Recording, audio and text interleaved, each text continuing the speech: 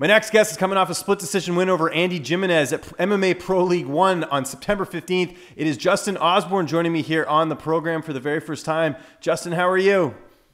Doing great. How are you? I'm doing very well. And uh, I was kind of talking with you off air. We screwed up the time on this interview. So uh, my apologies on that. But glad we made this happen, man. Uh, it's great to see you uh, get in the win column. And we'll talk about the, the victory in a second. But I wanted to go all the way back to the beginning. Uh, what initially got you into combat sports?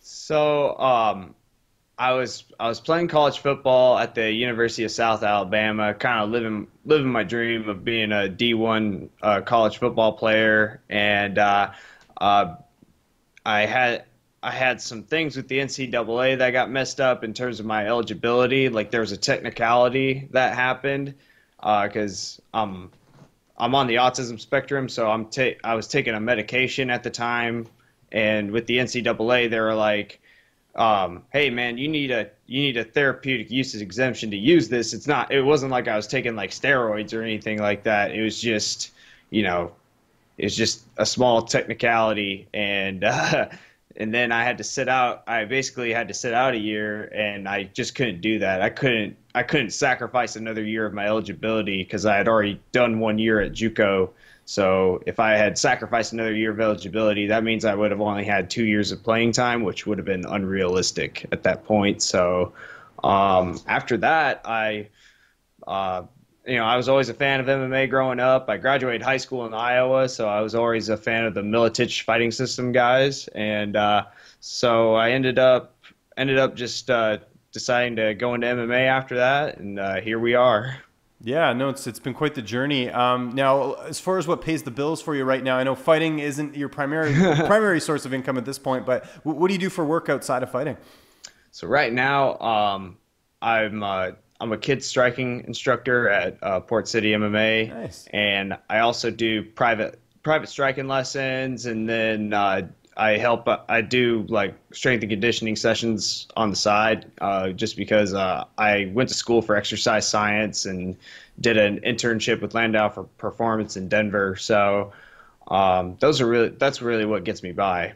Excellent. And of course, uh, big news, you, you, just linked up with the Terphouse. That's who we're doing this interview for. Uh, how did this come together, getting to work with, uh, in my opinion, the leading CBD oil company uh, in, in the world?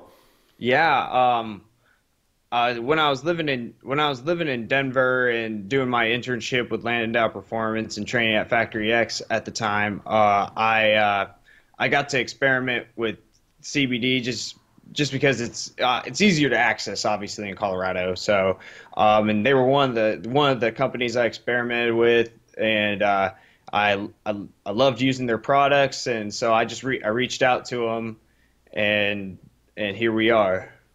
Nice. Okay. And what do you use for recovery as far as uh, you know healing up those bumps and bruises during training camp, or even after a big fight like this, like you had on the fifteenth?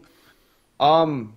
So I have a chiro- I have a chiropractor who's also an acupuncturist that sponsors me, uh, Dr. Ken Smith of Back in Motion Chiropractic in Daphne, Alabama. So he's been he's the guy that really keeps me keeps everything in line, and uh, and then uh, I've I use uh, the CBD for the inflammation, but I really don't.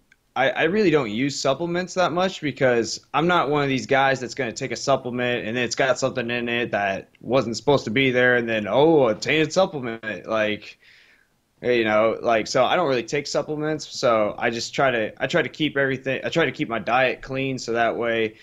Uh, I don't have to do supplements because I'm already getting everything I need out of my diet, if that makes sense. No, I, t- I totally get what you're saying, especially now with uh, everything we're seeing with USADA and everything else. So you're, you're, you're making the right choice here just because uh, you never know what's, uh, what's going to be in there.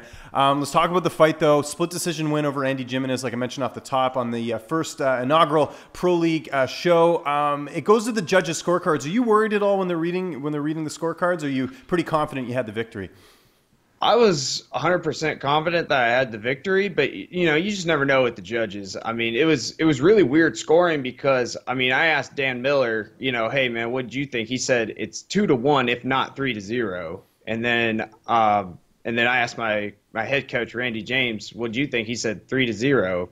And then obviously it goes to split decision. And then I, I asked all the media row, hey, how'd you guys score it? They all came up to me and they said they all scored it 30 27 for me. So it was just really weird.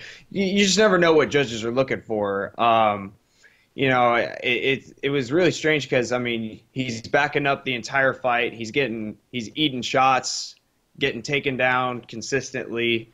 I mean, he's got the head of a cinder block. For, luckily for him, because I mean, I just don't know how you absorb two head kicks in a round and survive. But hey, credit to his toughness. But I mean, in my opinion, I you know going back and watching the fight objectively, I mean, I think I won every round of that fight. I mean, you just can't you can't win a fight backing up and absorbing damage the whole was there, fight. Was there anything about him in the fight though that surprised you?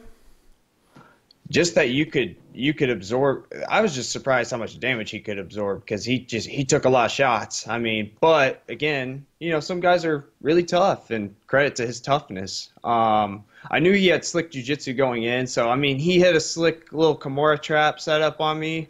Um, but other than that nothing really surprised surprised me. I was ready to go anywhere the fight went and uh, you could see that in the fight. There was you know no panic out of my part um, I think I, did, I think in particularly the the clinch was I was a little surprised that, that I was able to blow him out in the clinch with okay. the clinch striking in particular. What's next for you? When, when are you looking to get back in there? I'm, I'm, sure you came out of there pretty unscathed. You seem like you're in a good mood, so no bumps and bruises, anything like that. Um, well, uh, right now I'm just uh, I'm just taking all taking any offer that's that's out there, and you know comparing and contrasting and, and going from there. I'm not you know there's no hard date set. Um, I did um, I didn't go out of the fight get out of the fight unscathed, unfortunately, because I actually ended up getting a cellulitis infection on my elbow, so I had to be on antibiotics for the past two weeks. Oh shit, uh, that sucks. Yeah so now uh, it's pretty much fully healed up now. So I'm just waiting for waiting for the the scabbing and all that stuff to come off before I get back in there and train. Um, but yeah, uh, as far as what's next, um, I'm just waiting and seeing. Yeah. Are you looking to get one more fight this year, or are you looking more towards 2019? Uh, if it's one more fight this year, it'll be like it'll be like December-ish. If it's one more fight this year, because I did have I took two fights in back to back months for my first two pro fights, and then I did have an amateur fight in uh, uh, March of this year. My last amateur fight was March this year, so I've already gotten three fights. So, I mean, a fourth is just kind of icing on the cake at this point. Excellent. Well, we're looking forward to the next one uh, coming up here. Uh, Justin, it was uh, great getting a chance to chat with you, man. Just remind people where they can find you on social media, and if you have any sponsors or shout outs, the floor is yours, man. All right. Uh, you can you can follow me on Instagram at justin.osborne.712. Um, I'm also going to be coming out with my Twitch channel in October. Uh, I just haven't gotten my logo design yet or the name for the channel or, or that stuff, but I got all the big stuff done with it. Uh, I'd like to thank my sponsors, Comments from the Peanut Gallery. I'm wearing their hoodie right now. You can check out that podcast on iTunes, Stitcher, SoundCloud, wherever podcasts are available. Um, and then uh, Back in Motion Chiropractic in Daphne, Alabama. Dr. Ken Smith does a fantastic job keeping me keeping my body fine tuned. Um, and then I'd like to thank Terphouse. Obviously, uh, it's great for an autistic person like me. It helps me it helps me get to sleep at night. That's what, what I primarily use it for.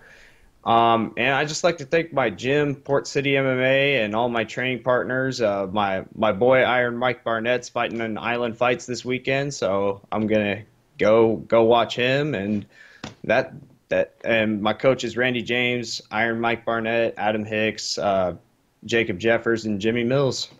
Excellent. Before I let you go, I got to ask, uh, what, what, games are you going to be pl- playing on uh, Twitch? What are we going to be seeing you highlighting? So right now, probably over Overwatch, uh, maybe may, maybe PUBG, um, and then uh, in between, uh, perhaps like Dragon Ball FighterZ, something like that. I want to get some fighting games in the in the mix. Um, just don't know which which ones yet.